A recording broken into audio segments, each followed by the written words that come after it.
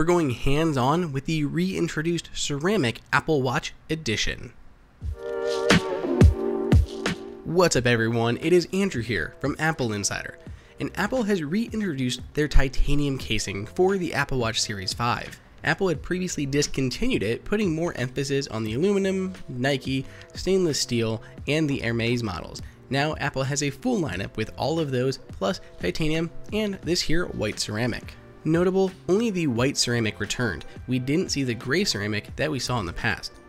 When we picked up our Apple Watch Titanium, it came with a band. We chose the band that we wanted, great.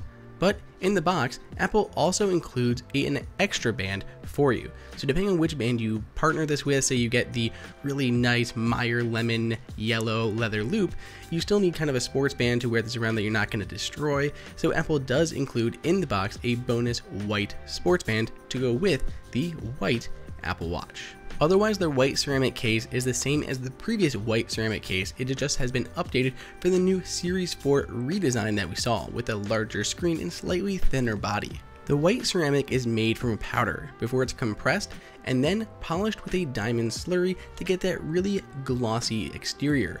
It's extremely durable, feels very nice in the hand, shows no fingerprints, and is very resistant to scratches.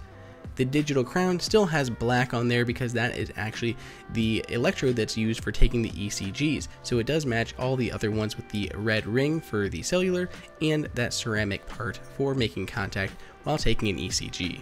The white ceramic is the most expensive Apple Watch in the standard lineup, but there is one other Apple Watch that joins it in part of the Edition family of watches.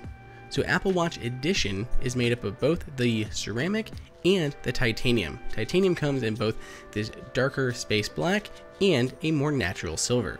The ceramic does cost a little bit more, but it is nice to see a few different options in that Apple Watch Edition category. So you're not just kind of pigeonholed into going with the ceramic or the titanium. You have options there, and both of them are very distinct and unique from one another, and both are absolutely phenomenal cases for the Apple Watch.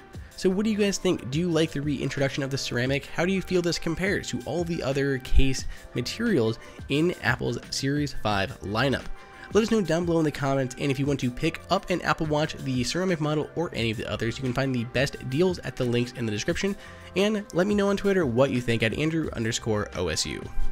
Hey everyone, did you guys like that video? Be sure to click on that like button so we can create content that we know that you guys want to see and follow Apple Insider on all social media channels.